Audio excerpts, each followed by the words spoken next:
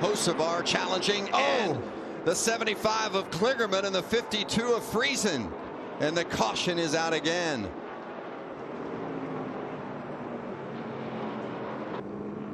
Third row back. Oh, he lost, Yep. lost her right front tire. Right, Biff?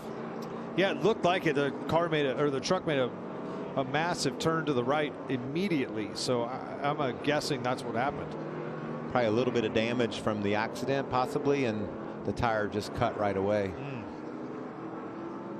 Yeah, no chance for Oh. Kligerman. Yeah, you saw the smoke.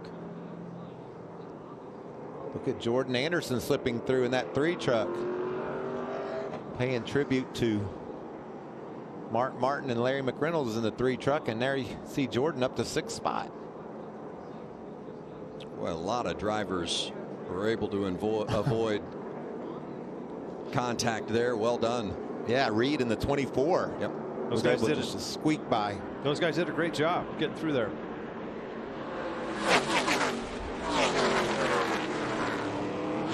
I'll tell you what, when you execute a restart like Ben Rhodes did, and the caution comes out right after it, and you think, oh, oh, good, I get to do that again.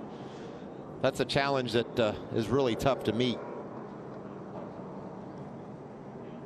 18 drivers were involved in that previous accident. Fortunate that uh, only a couple were involved in this one because it certainly could have.